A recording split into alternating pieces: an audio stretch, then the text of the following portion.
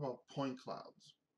Now, before we dive right into the Unity example files, let's talk a little bit about what the vertices are that are being created and how they relate in 3D space. Now I'm going to jump into Modo, which is a 3D um, package modeling animation, uh, you know, just the regular, and I'm just going to create a sphere real quick. And so what you're seeing is a geometry. This geometry is made up of a few components. And so uh, Modo puts their components up here. So we have our vertices, we have our edges, and then we have polygons. And so what the way this works is this vertices, when four vertices, or really when three vertices are connected, it creates a geometry. So it can create a triangle. So right now polygons are, are when you have four vertices, and so together they make up one. Uh, our edges are the connection between two vertices. And so same thing if you have uh, three edges, you create a triangle. If you have four edges, you create a polygon, and both give you a geometry. Now, when you're using the Tango, the Tango will actually register vertices. And so if I actually, I'm, I'm going to create a copy of this real quick. What will happen is, is let's say this, this sphere is any object in your real world. What'll happen is, is um, the Tango at the moment does not create geometry, but instead uh, creates vertices from all of that data. So I'm just going to grab all these vertices, copy, I'm just going to paste it into here. And so what happens is, is in the real world, you see this. You know, you, you get this nice geometry, or whatever it is, and the Tango actually sees this. And so these vertices are what get created. And in Unity, I'll show you in the in the code where it actually creates uh, it takes a mesh and then it just drops these vertices in there. It doesn't actually create all of the connections because that's a little more complicated. However, this is what you get. Um, on top of that, if I do this real quick, this is typically what you'll get inside of Unity and uh, your example file. And these will just be colored something differently. Um, and that's just from Unity's um, shader. something to take note of is is when you're looking at real world space, uh, you know, or real world objects, uh, it's actually twofold. So one, there is a depth sensor on uh, the Tango devices that uses infrared, and so lighting often is where you you find your first big hurdle when you're working with, uh, you know, the regardless of whether it's it's the pose or the motion tracking or area learning, but specifically with this data, with the depth sensors, uh, you want to have a nice even lighting. Anything that gives off too much infrared light will end up messing up the, the calculations. But it's not only done with the depth sensor, it's actually um, heavily image processed as well. And so what ends up happening is, is so you'll have this back, uh, you know what, let me, I'm actually going to do something a little different. In active mesh, I'm going to have it just show a solid color. That way we can see what's on top. And then you know what, I'm actually going to get rid of the grid as well.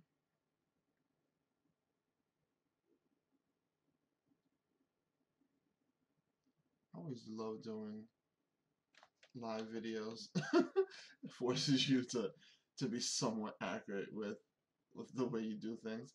Alright, so so what we have here is is this is what what you know a real world object looks like. This is what happens uh, you know when we see whatever a phone, uh, a bottle. The Tango will actually also take points around that image and use that data as markers as well. So you, you're getting a two, you know, so you're getting a two-prong approach to to how depth is calculated. So the images play a, a pretty, you know, significant role in how that data is calculated. And so now that we have a quick intro into just geometry in general and how it works, what we're going to do now is jump into Unity and I'll actually walk you through the project itself.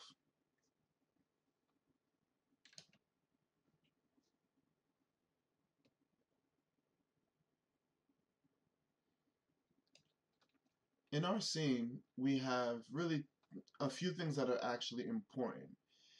Of course, we always need our Tango manager with, in this case, we want to make sure we have the correct settings set up. Uh, enable depth is what we need here. We have a Tango Simple Camera. So this camera rig that we have here um, does a few things. And first and foremost, we have the camera itself.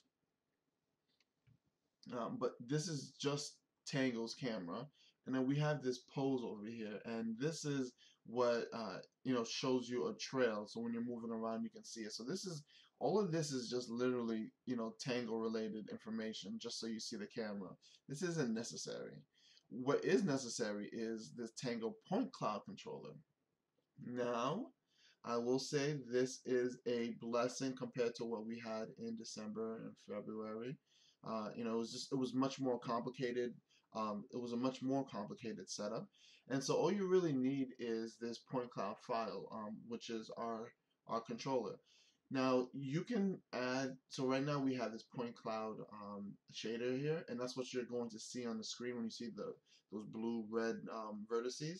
That comes from this shader not important if you want to show that you can do that but really if you're if you're using the point cloud data chances are you're just looking for raw data so that's it that's all you need is, is this and the tango manager so let's jump into the code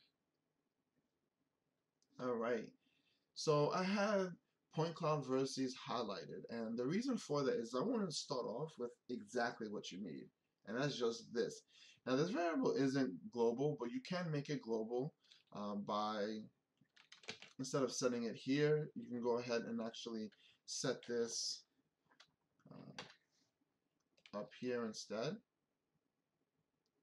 You can choose wherever you want, it doesn't really matter.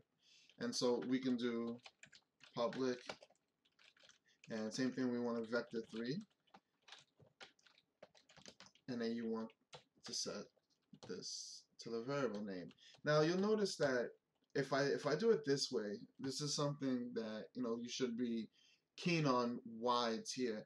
If I do it this way, what'll happen is, is this will actually um, it'll actually throw an error, and the reason for that is is this point cloud vertices is actually an array of vector 3 vertices.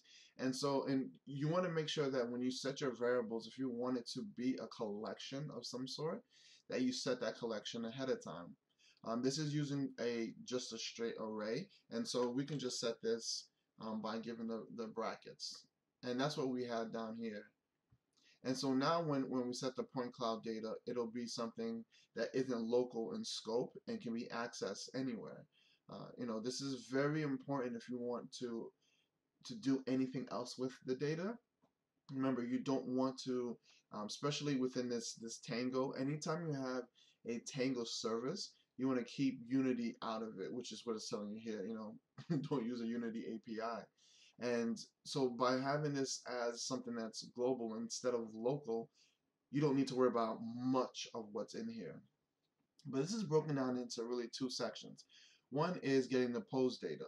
This is basically coordinating the pose information and sp um, spitting out the function so it's not so condensed you know all in in this one area uh, let's see number of vertices so this is an this is really really important and so if the Tango depth is set up if we scroll up a little bit so if we are receiving Tango data and it's not equal to null and we have some points then the function goes. And so that so that's where most of our our, our code is embodied is is in uh, you know if we have data and if we have um, points. If we come down here, you know we have the number of active vertices. Uh, that's what's currently visible, uh, and and you know so that's pretty much your your scope of or your max uh, points that you're going to see in that particular scene. And that's where if we go back into Unity, um, there's actually a frustum. And so from here to here, these are the, the, the active points that, that you're going to see in that area. Uh, next, what we have is, is we have this uh, this area that, that that takes care of the conversion still like most of the pose data Unity's um, Unity and OpenGL have one format, so you don't have to worry about that conversion. But you still have to worry about real world conversion. Plus, you have to worry about the RGB conversion because remember, this is still using image data, so you have to convert. Uh, you know what? If you took a picture, you have to convert the data and the points that are used as markers from the pictures as well. And so that's what all this um, is doing. It's doing all those conversions. Uh, and we have matrices, which are, are actually down here. Mm, nope. Where are matrices set up? Here you go. And so we have some, some matrices that are set up. And their values are actually initiated up here. So they're in global and not a local um, scope. And so that goes through, combines them, and sets them all in one uh, place. And so what we end up having after all of uh, you know the the calculations are done is we have the number of vertices, which is our vert count. And so what we have now is when we go through the vertices, we know this is the, the, the total number of vertices that we have. And over here, what we're going to do now is, is we're going to, to then, this pulls out the data based off of the vertices, I mean, based off of the matrix. And so now what we have is, is we're getting um, for each active vertice, we're getting that particular data. And so this is the most important portion of the whole entire function. And that's the reason why I pulled it out of the local scope and put it out of global scope. And it's because, let's be honest, if you're doing anything that's point cloud related, it doesn't have to be creating meshes, but if you're doing anything point cloud related, this is the only set of data you're going to need. Everything else you can literally copy the controller and leave it, uh, you know, as is. And just for visual purposes, what happens is, is we have access to this M mesh. So if I go up to M mesh, you'll see it's just a mesh. And the way you get the mesh in Unity is you have a mesh filter. And so up here in, in the start, what you have is, is you have, uh, first we, we get the component um, for the mesh filter and then we just pull out just the mesh uh, you know po portion of the filter. Then we clear the mesh you know set the triangles and you know recalculate the bounds and normals you know just that's just you know 3d talk for well no let's not do that. Let me just show you what those are. If I go back into Modo and I select our sphere. What we can do is is so I can show you the vertices. And so what you have is is you have the vertices but you can also each one of these vertices has normals. I'm not gonna go too deep into the uh, you know the explanation of it but a normal basically is the direction it's facing. And so each one of these if I grab a polygon in the center there's a there's a line that extends out and that extends out for for each one of these polygons and it gives it a direction. And so you can think of it as you know similar to you know a vector or a magnitude how it has a, a direction attached to it. And so if you wanted to let's say do something for example uh, you have a character walking um, and they're walking across a sphere. Well if you're trying to make, you know, figure out, well, what's the angle of this sphere and, and what's the radius, maybe I can use that. Uh, you can actually use the vertices, um, excuse me, you can actually use the normals to give you the exact angle in which it's at. And, you know, that's, a, you know, that's something I'll actually show in a more advanced Unity video um, that I'm working on and how you can take advantage of using the mesh's vertices to, to really map something to uh, you know, to a an actual geometry. And so that's what the vertice, uh, you know, resetting the vertices. It just makes it just resets it so that it's correct. Uh, you know, especially when as you're updating all the different points and vertices, you want to make sure that the normals are correct. And so uh, when we do have all of our point data, the mesh first gets cleared because it has vertices, and so the mesh gets cleared then these vertices are then set for the, the particular mesh. Remember the vertices are, if I jump back into Modo, the vertices are all of these little dots that you see here. So it pretty much deletes them and then resets them. Uh, sets a triangle, and then you won't actually see that data. And so what what you would actually see is, if I deselect this, oh, of course,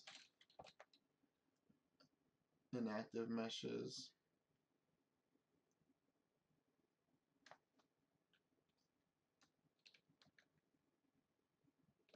What you'll see is this. And so that last line actually gives you this. So if I go back into our code, um, this mesh topology, so what this does is so it sets the indices, uh, but this sets the actual points, so you can view the points themselves. And that's pretty much, you know, the the the in a, in a nutshell what the point cloud system is and how it works. Uh, once again, really the only thing that you need here is this portion. The mathematics behind it is quite intense. There's no reason to actually use it. All you need to know is the vertices, and the vertices are each individual vertex or point on the screen. And this just shows them. So if you want to do any customization, if you want to do any type of uh, you know application utility, and you just needed to know the vertices, this would be how you'd get the vertices. So hope you enjoyed the video. I try to make it a little more in depth because of the long time frame. I really wanted this for the weekend, um, but Tango device was acting funny. So which is also why I don't have a, a recording of the actual device. Actually, it's actually charging, which is even better. This thing dies while even plugged in. I'm, I'm, I can not wait for uh, for beta 2.0. So I hope Qualcomm, you know, fixes some of these issues. Uh, so as before, this is Edison Ablar from Passion 47. Look out for some more videos. Still gonna give you all the example files, you know, explaining them, showing you how to use them, and I can't wait until uh, you know, just probably a little longer when I can show you some real cool examples of what you can do with the Tango. So if you have any questions, you can hit us hit us up on YouTube. Uh, you can at Passion47 on Twitter. Uh, but like always, you know, the best place for, for the tango is, is, is the community. So uh, hit us up on on um, on Google Plus and just drop a line. Edison Abelard, I'm out.